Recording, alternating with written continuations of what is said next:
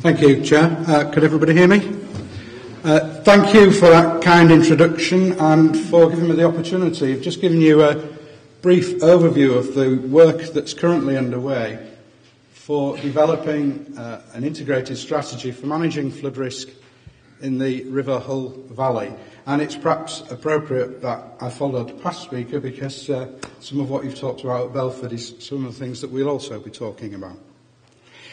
Um, up until December this year, whilst people in this room, I know, fully understand the impact of flood risk, uh, at presentations like this, I've had to use quite a lot of photographs to remind people exactly what we're talking about. And we all know from seeing the TV and stories we've been hearing about how severe it is in the south and southwest area. But just as a reminder, we've heard about 5,000 properties being affected with the current problems Back in 2007, there were over 15,000 properties in the Hull and East Riding area. So just to put it in context, it is always bad for people to suffer from flooding. And the fact that it's raised the profile once again gives us the opportunity to take these sorts of projects forward and get the support that we're looking for. Um, what I'm going to do very quickly is talk about how we've gathered together a number of agencies, building on work that's already been done, um, to really fully understand exactly what is in what we call the natural River Hull Valley. Now, I don't know how many of you were able to see the display from the River Hull Heritage Group that was outside whilst we had lunch. Absolutely fantastic piece of work.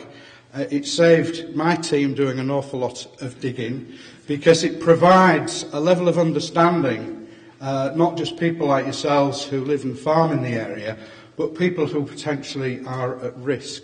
So it is a, an absolutely fantastic piece of work. We're grateful for everything they've done and we're very keen to continue supporting that.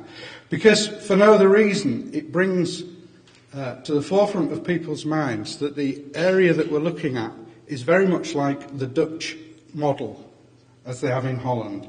It is a very heavily modified system relying on engineered structures, channels, pumping stations, all sorts of equipment. If we didn't have that, it would very quickly resort back to the original floodplain and salt marshes.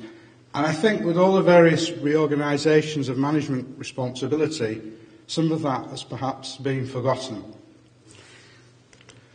So what do we mean by the River Hull? It's the area on the slide bounded in red, and we're calling it the natural River Hull because it isn't just the river itself. It's the area to the east, the plain of Holderness, and that to the west. It's 380,000 square miles, in which, as was mentioned this morning, there are 130,000 properties at the second highest risk of flooding in the country.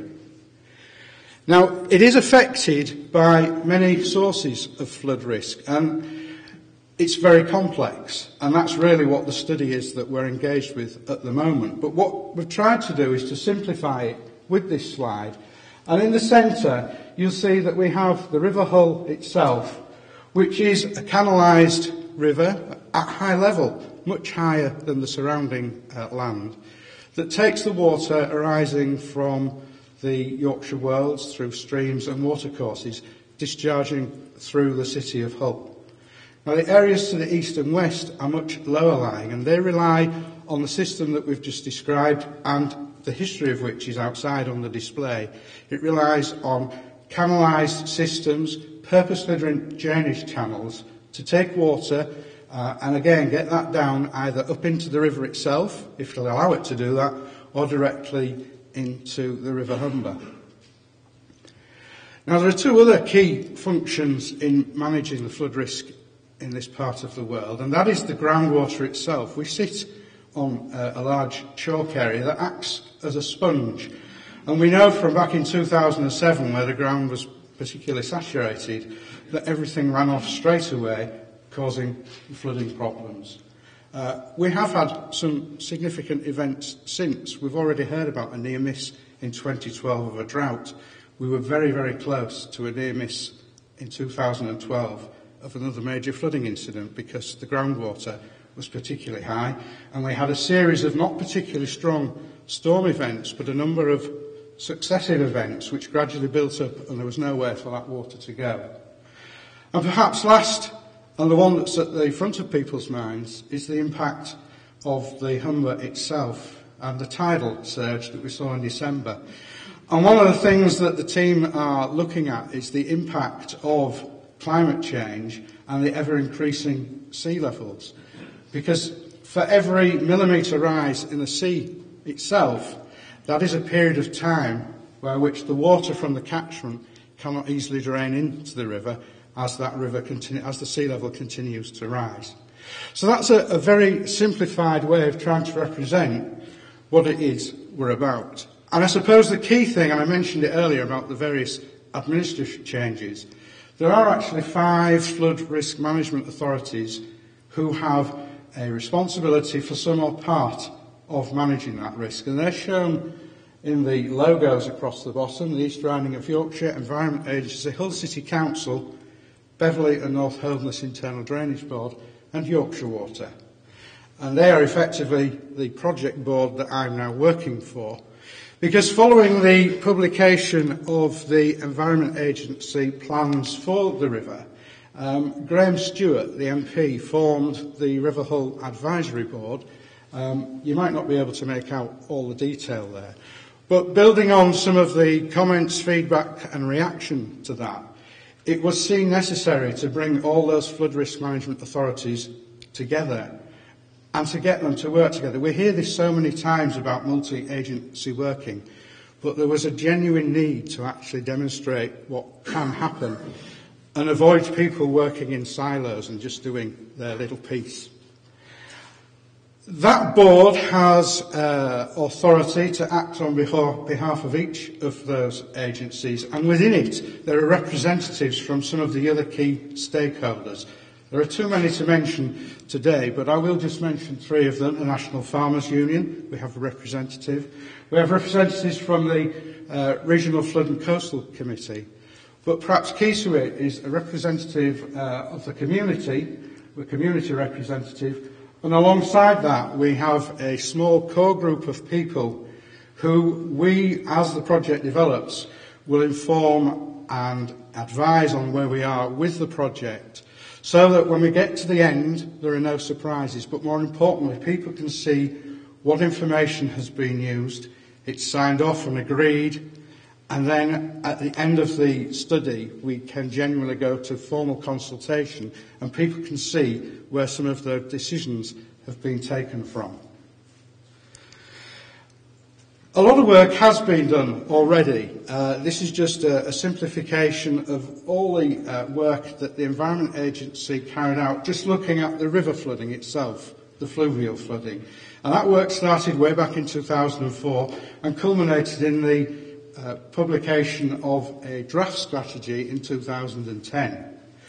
What we're now looking to do is to integrate into that work the impacts from surface water, from groundwater and the tidal impacts. And we're using three separate organisations to, to carry out the hydraulic modelling, the technical environmental assessment and the economic appraisal. And we heard earlier today that there are certain rules and regulations that we have to comply with and demonstrate what the benefit of every pound of investment would be. We're actually pushing uh, a wee bit on that. What we're trying to do is to demonstrate to uh, not just use those simple rules, but also what the overall impact to the community is, so that these things are looked at in an integrated way. We believe it's wrong to just look at what the cost of the loss to a particular area of field would be if that field is actually also protecting uh, and properties to the north of the city of Hull. And we firmly believe that the modelling would show that. And one of the reasons why currently we're not having to grapple with flooding in the city is that natural sponge was, fortunately, fairly empty. And so we've been able to absorb quite a lot of that. So it, it is really important that these things are looked at in the whole and not just parcelled up into individual packages of work. The board themselves have signed up to something called the project acceptance criteria, and by that, each agency understands that there are certain uh, pieces of data, certain simulations, certain data sets that everyone will sign off so that whatever the result will look like, and we're currently forecasting to report this towards the end of this year, um, we then don't want people saying, well, I didn't agree to this, I didn't agree to that. So it has been quite important a lot of work has been done in ensuring that that governance is in place through the life of the study. So what will it look like? Um, I'm not a modeller, I'm an engineer by profession, but if we try to simplify it, it's a representation of all those different sources of flood risk uh, in a computer model. And it was uh, helpful that the Belford case study was also mentioned, because again, modelling is used.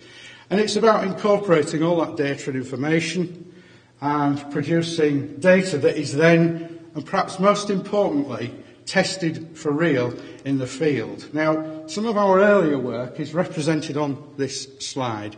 It's just uh, a plan view of the bulk of the valley, and the dark blue areas are those areas predicted to flood just looking at the fluvial, the river flooding.